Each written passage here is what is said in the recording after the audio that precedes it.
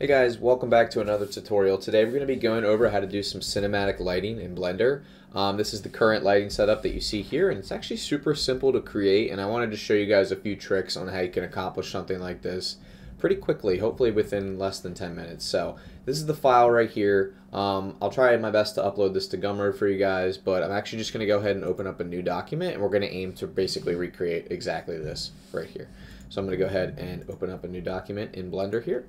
I'm going to first take this light and I'll just keep it there for now. It's a point light, so you, you start with the point light in the cube.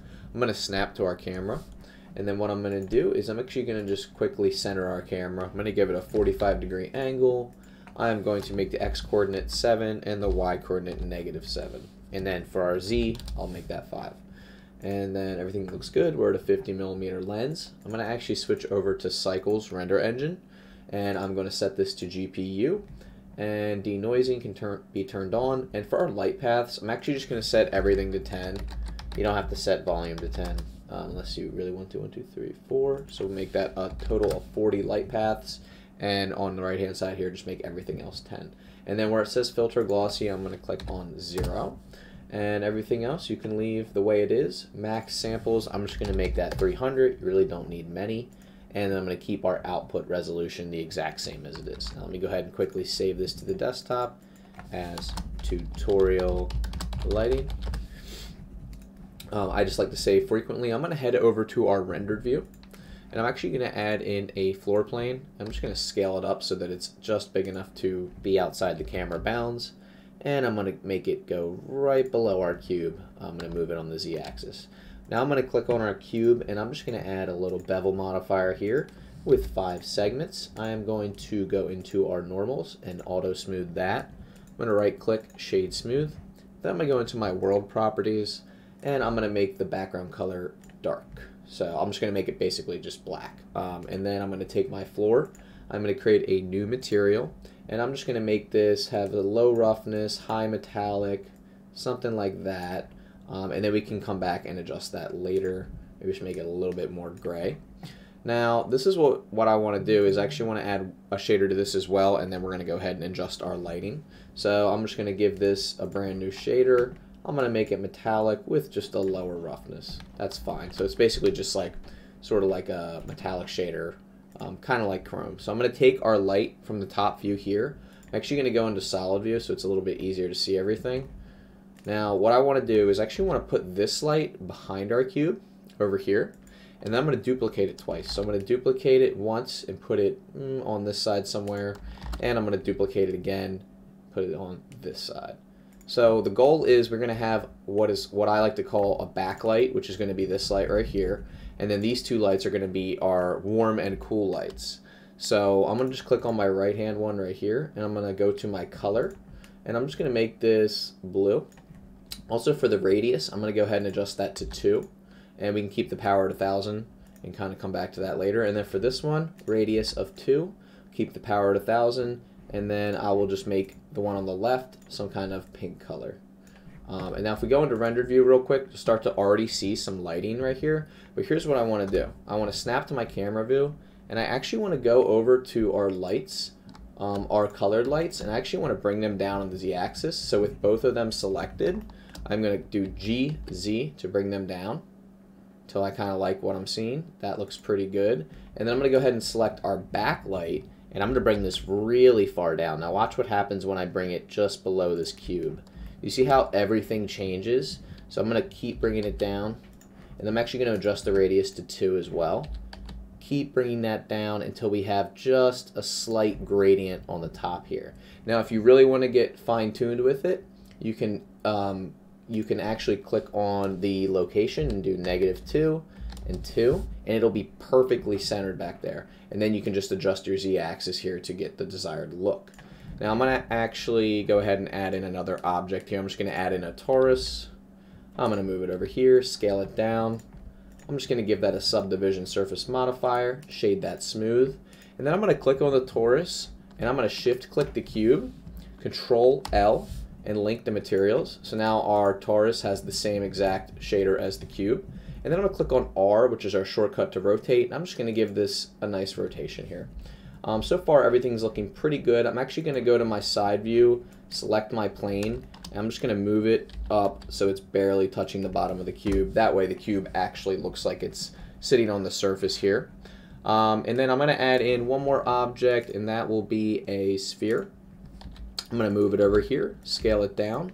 I'm going to also copy the materials from our cube, and I'm going to give this a subdivision surface modifier, and I'm going to shade that smooth. Now everything is saved, and everything looks pretty good so far.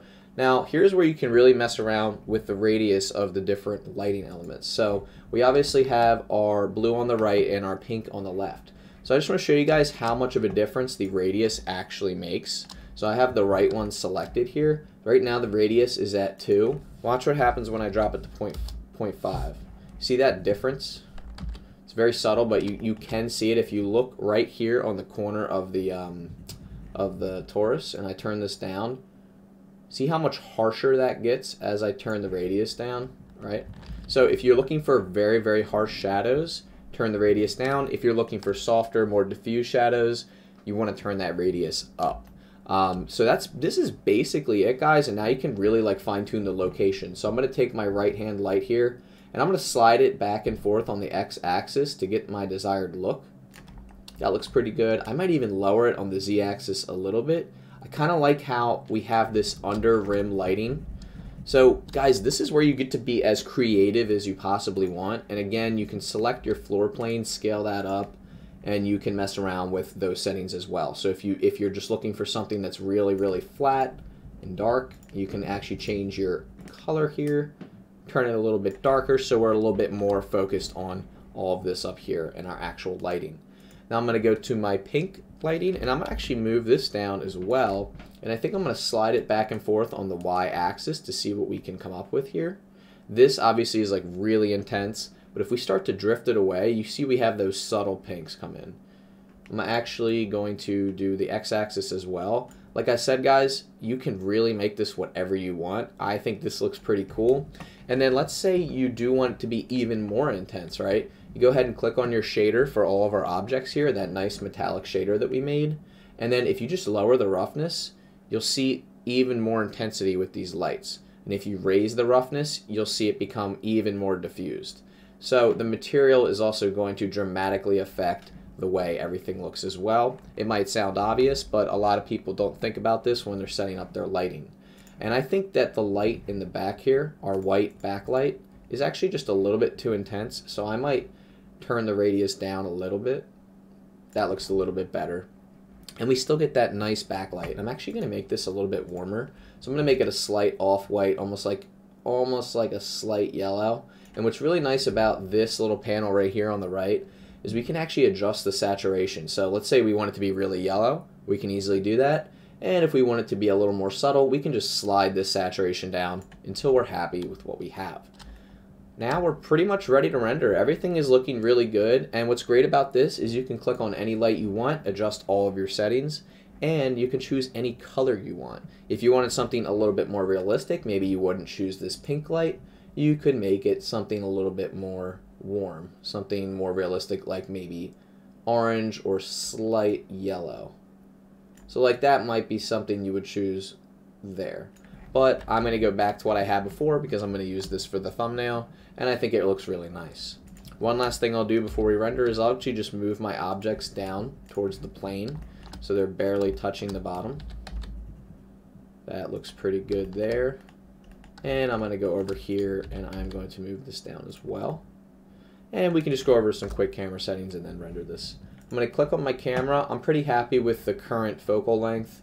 Um, if you want to, you can click down on this viewport display drop down and you can just turn this value up for passepartout, which basically just narrows you in on this camera view. It makes everything else not transparent around the scene, so you're very, very focused on that. Um, and then what I'm going to do is I'm going to click on depth of field, and I'm going to use our eyedropper tool to select the cube. And then I'm just going to turn our f-stop down to 0.1, something really, really low, and just see how that looks.